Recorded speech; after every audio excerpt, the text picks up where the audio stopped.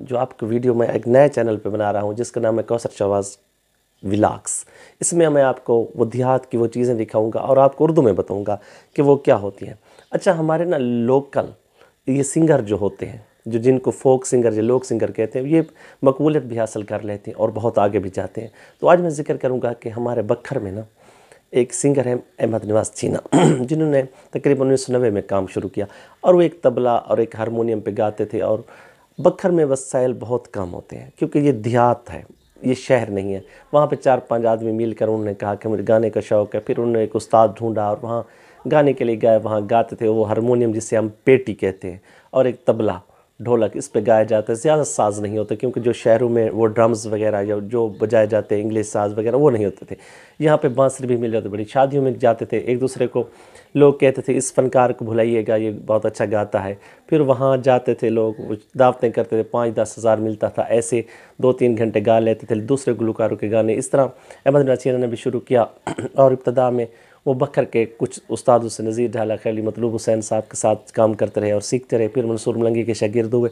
ऐसे उन्होंने तरक्की करते करते कैसेट का ज़माना था और उन्होंने रहमत ग्रामोफोन से कुछ वालियम कराए। और डेरा इसमाइल ख़ान में कंपनी थी नेशनल रेडियो सर्विस वहाँ से भी काम करते रहे और गाते गाते गाते आगे गए। और कुछ लोग उनके साथ जो ढोलक बजाते थे, कोई तला के बेस पे उनको बुलाते थे, इस तरह वो मेहनत करते करते करते आखिर सन 2000 में उनके वालियम ने उनके गानों ने धूम मचा दी, फिर बहुत सारे गाने उन्होंने दिए और उन लोग उनको चाहने लगे और उनकी आवाज़ में एक दर्द था।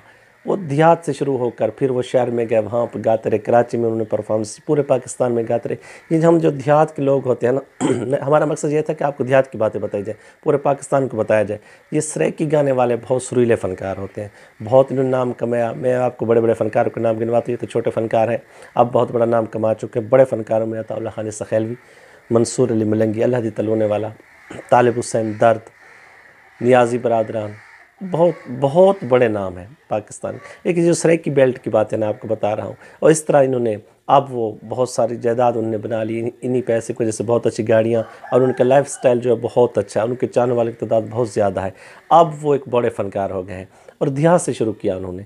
उनके हाँ हाँ आप जाएँ, अगर उनके घर, मैं भी उनके घर गया हूँ, देखा कि उनके वो जानवर हैं जिससे हम सराइकी में मंझी, गई, भेड़ा, बकरियाँ ये सारी चीज़ें मिलकर जो जानवर पाले जाते हैं देहातों में, वो तमाम चीज़ें हैं। और वो अच्छी अच्छी गाड़ियाँ भी गाड़ियाँ भी हैं और वो शादी खुशी गमी में एक दूसरे इलाके में जो जहाँ शादी होती है, वहाँ भी जाते हैं, जहाँ गमी होती है, वहाँ भी जाते हैं। तो उनकी लोग इज़्ज़त करते हैं, उनसे मिले बहुत अच्छी शख्सियत के मालिक हैं वो। आज की वीडियो आपको कैसे लगे, हमारे चैनल को सब्सक्राइब कर दीजिएगा।